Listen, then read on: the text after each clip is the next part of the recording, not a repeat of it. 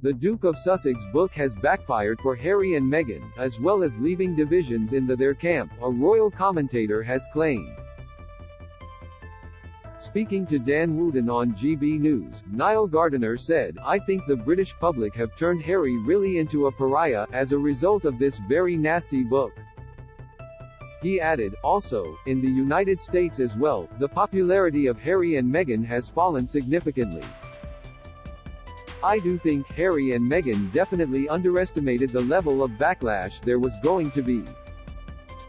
He described the book as a disaster, particularly in terms of the image of Meghan and Harry. Read more. Prince Harry tipped to skip King's coronation to take up commentating deal in US Meghan and Harry are no longer senior royals. Image, PA. Harry's book was out earlier this month. Image, Penguin Random House. Speaking of the couple, he added, I think we are seeing divisions in Camp Harry and Meghan because this book has been absolutely disastrous. I think there will be fallout from this. Speaking of Meghan, he called he would not be surprised if the Duchess was unhappy with backlash from Harry's book, Spare. He added that Harry, in some respects, is a wholly owned subsidiary of Meghan Markle. Read more. Meghan's silence suggests she is not happy with Harry undermining her brand Harry's book, titled Spare, was released on January 10, having just missed out on the popular Christmas market. Despite this, the book was deemed the UK's fastest-selling non-fiction book within 24 hours of its release.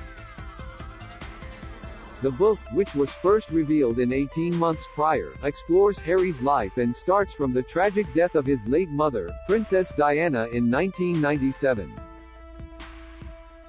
The book also delves into his life as senior working royal, as well as documenting his current life as a husband and doting father of two. Don't miss Harry and Meghan's four-book deal shows trashing royals profitable. Insight. Prince Andrew can tell every pigeon he's his royal highness. Analysis. Prince Harry warned Spare threatens to backfire and push support back video. Trending the couple now reside in the US with their two children. Image. Getty. The couple, who got married in 2018, left the royal family to begin a new life in the US in 2020. They moved with their young son Archie, who was less than a year old at the time, and welcomed their second child, a daughter named Lilibet, in June 2021.